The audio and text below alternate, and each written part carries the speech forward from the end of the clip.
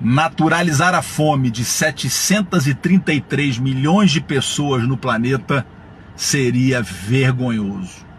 Essa é uma das frases que o presidente Lula soltou hoje de manhã, lá em Nova York, onde amanhã ele abre a Assembleia Geral das Nações Unidas. O Brasil voltou, voltou respeitado e voltou pautando as questões que realmente importam. Não adianta falar de sustentabilidade, de crise climática e fechar os olhos para centenas de milhares de pessoas que ainda passam fome no planeta.